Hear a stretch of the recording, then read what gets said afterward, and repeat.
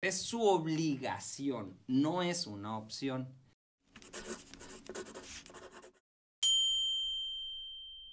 ¿Cómo estás, Juan? Buenos días. ¿Qué tal, José? Buenos días. Un gusto saludarte a ti y al público que nos hace favor de escucharnos en este miércoles, miércoles de tecnología, miércoles 22 de noviembre de 2023. Fíjate que te traigo un dato perturbador. No me digas. Sí, José.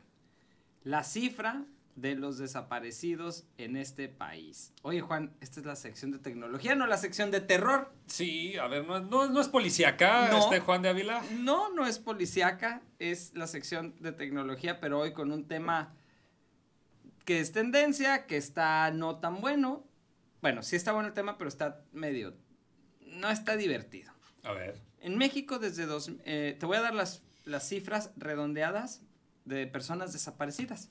En 2020 fueron 8.500, en 2021 9.141, en 2022 9.128 y en lo que va del 2023 al corte del día de ayer, al 21 de noviembre de este año, van 8.700 personas desaparecidas. Son muchas, ¿no?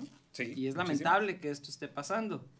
Ocho mil. Sí, 8.700. Pues, Vamos a cerrarlo en 9.000. Bueno, pues con todos estos datos tristes y eh, escabrosos, a un chamaco de 12 años, José Alejandro, se le ocurrió desaparecer por 48 horas. Jugar a desaparecer. jugar a desaparecer por 48 horas para poder completar un reto de TikTok.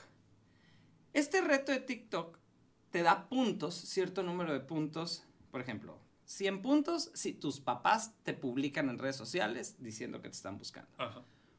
200 puntos si las autoridades publican que te, estás, que te están buscando. Y no sé, 1000 puntos si llegas a la prensa. Sí. Bueno, José Alejandro, pues muchas felicidades. Aquí están tus cinco minutos de fama. Lo lograste. Ganaste todos los puntos que el reto tonto te pudo haber dado. Y seguramente a tus 12 años no entiendes que tus papás te van a perdonar. Así lo hagas otras 30 o 40 veces. Pero quien no perdona, José Alejandro, es el Internet.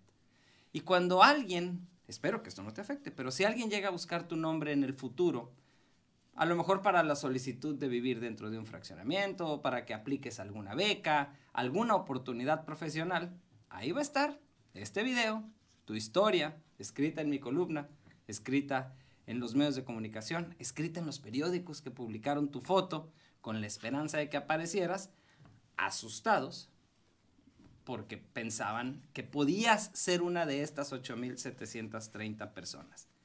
Esto lo digo con un poco de sarcasmo. Si usted que está llevando a su niño a la escuela está escuchando esto, niño no lo hagas, porque lo que ahorita puede ser divertido, más adelante te puede causar un serio, serio problema. Lo repito, tus papás te van a perdonar, a la sociedad te le vas a olvidar. Yo la semana que entra ya no me voy a acordar de ti, ni todos nuestros radioescuchas.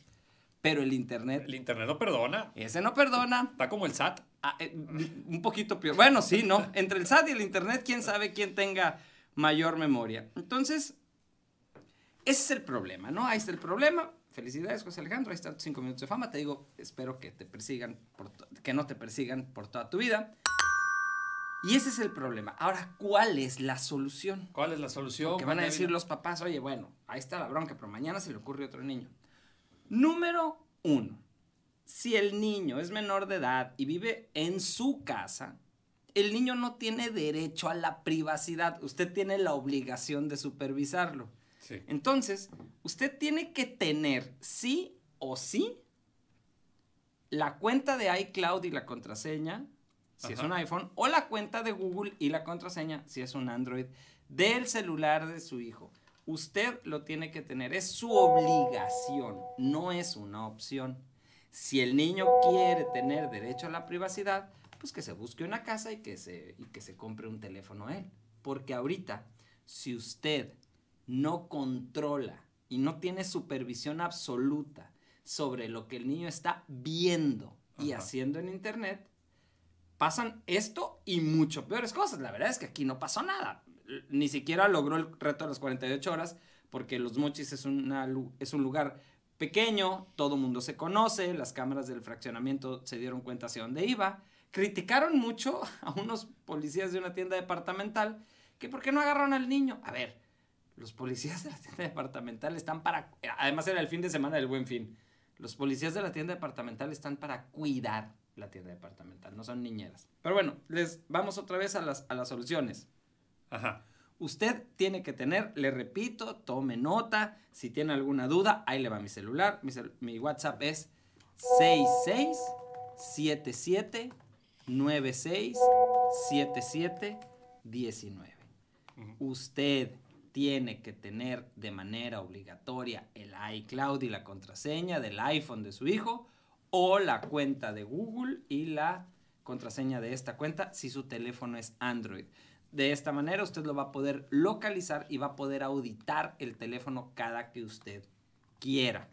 Entonces, aunque los chamacos son muy hábiles, hace tiempo tuve un caso donde estos niños estaban haciéndole bullying a otro niño. Y en la mañana cuando llegaban a la escuela, instalaban la aplicación. Y a las 2 de la tarde, cuando ¿La iban a llegar su- sus papás por ellos, la borraban. Entonces todos los días la instalaban el- y la desinstalaban. Pero si tú tienes acceso a la cuenta de iCloud o de Google, ahí te vas a dar cuenta cuántas veces han instalado o desinstalado una aplicación. Y todo esto es porque los niños son menores de edad y el celular, la tablet o la computadora, cualquier cosa que está conectada a internet, no es un juguete y no es una niñera. Tienen que entender los padres de familia que hoy se está viviendo una época atípica. Es una temporada o una época en la que, o un ciclo de la vida en la que curiosamente el niño sabe más que el papá Ajá. tú y yo, cuando éramos niños, le preguntábamos a nuestros papás, oye, ¿por qué pasa esto? ¿Cómo se hace esto? Pero ahora los papás le preguntan a los niños, "C- ¿cómo le mando esta ¿Cómo, receta?" recupero, ¿Cómo recupero mi contraseña? Sí, ¿cómo entro a Netflix? Ajá. Entonces, los niños están abusando de esto y les están restando toda la autoridad a los papás. Los papás tienen cero autoridad ya con- sobre, sobre los niños y ese es un serio problema que se resuelve en casa de otra manera y sí, psicológicamente Araceli Ceballos sabrá, yo no. Yo lo único que le puedo aconsejar o decir o ayudar es cómo puede usted tener control y auditoría sobre el celular de su hijo, que le repito, no es una opción, es su obligación. Nos dicen, ojalá hicieran un reto de TikTok de limpiar un solar o barrer una avenida.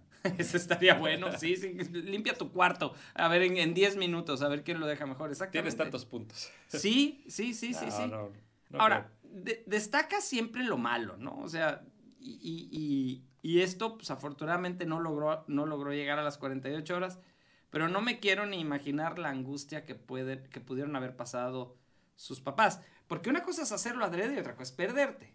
O sea, Ajá. te, pi- te pierdes porque, pues no sé, en el supermercado o algo, pues eso lo hiciste sin querer, no era tu intención, por distraído, por lo que sea. Acá lo hizo adrede con la intención de causar, eh, pues, ruido, en, tanto en redes sociales como en medios tradicionales. Repito, pues José Alejandro lo logró. No voy a decir su apellido porque no se puede, porque es menor de edad, pero pues ahí en- en- está su imagen en todos lados. Está en Facebook, está en YouTube, está en TikTok, está en todos lados. Y eso te digo, lo va a perseguir pa- para siempre. No va a haber manera de que lo borren sus papás, ni sus amigos, ni nadie. ¿Cómo la ves? Pues sí, hay que tener cuidado también con, pues, con las redes, con el, con el internet. Todo se queda registrado. Todo. Todo lo que hagas, cualquier tontería que hagas, se queda registrado. Y todo el mundo te googlea. Sí, Eh, sí. Si quieres pedir trabajo, te Bueno. googlean. Exactamente. Si quieres, como dice Juan de Ávila, conseguir una beca, te googlean. Si quieres entrar a un club o lo que tú quieras, a, no Van a sé, buscar referencias a un tuyas en equipo internet. deportivo, te googlean. Y a lo mejor dicen, ah, no, pues, digo, no, a, a mí no se me hace que, que pueda ser una causal de negación de algo, pero pues habrá que ver qué opina el de recursos humanos en ese momento, o, o el comité de admisión, o lo que sea. Hay que portarse bien. Hay que portarse bien. Y bueno, pues esa fue la aportación para este miércoles de tecnología. Les repito mi WhatsApp por si tienen alguna duda, me pueden llamar con mucho gusto. Es el 667796 7719. Tenemos ahorita un montón de trabajo porque muchas personas compraron computadoras y celulares en el Buen Fin. Y estamos ahorita con la misión de migrar los datos de las computadoras anteriores a las nuevas, renovar las anteriores para que les den este, una un segundo ciclo de vida. Pero con mucho gusto los atendemos en Compudiput. Muchas gracias. Gracias, Juan. Gracias a ti, José, al público que nos hace el favor de escucharnos y estén al pendiente de más noticias en redes sociales. Gracias. Vamos a ir un corte comercial y regresando más información que ese con nosotros, no le cambie.